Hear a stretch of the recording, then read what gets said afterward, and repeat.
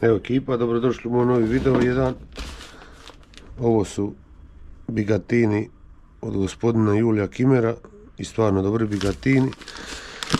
I sad ću vam objasniti pravilno skladištenje bigatina. Jer vidim da me puno prijatelja i zovu i pitaju kad ću, šta ću. Nisam dugo izbacio video radi broda. A evo sad ću vam kroz grupu Dalmatinski, Dalmacija Fishing i moj YouTube kanal o svim mogućim tehnikama pričati. Znači šta je bitno kod bigatina? Imate ove malo manje posude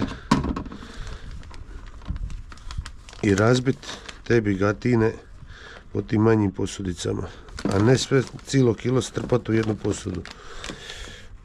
Evo.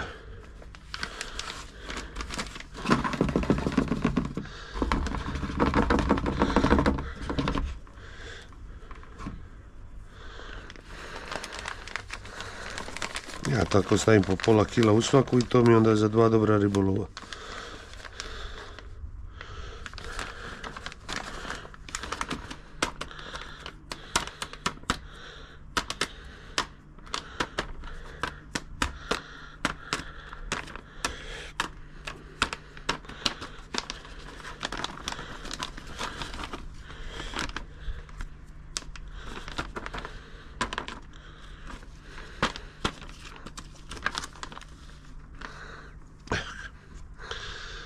E, sad kad sam to napravio, sad ide druga stavka.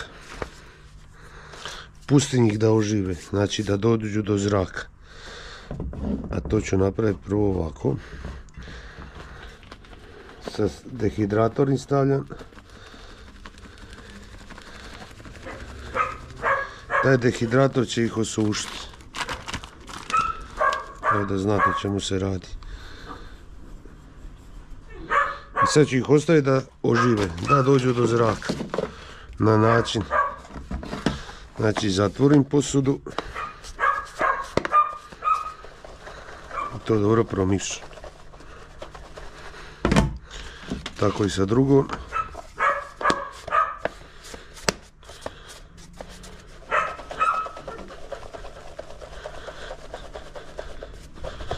Evo, za neki pola sata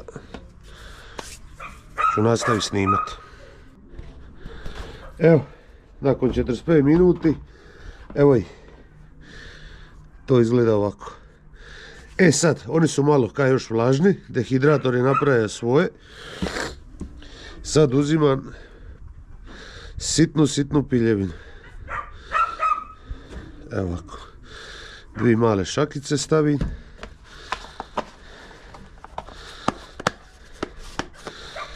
Dobro, dobro promišljam.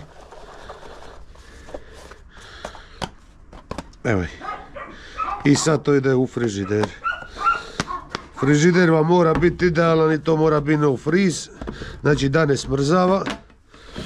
To su većinom oni od Coca-Cola, kafički oni frižideri su idealni za to. Ili ovi novi i dobro zatvoriti ako stavljate doma da vas žena ne obisi. Jer znaju izaći onda bude u frižider crviju. Sad ćemo provjeriti ovu. Evo ga, to je to. Možemo još malo staviti dehidratora.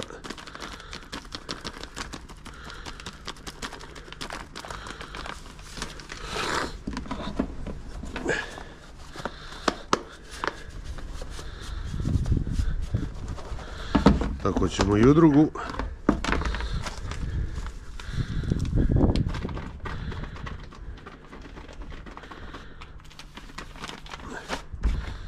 Eto ga.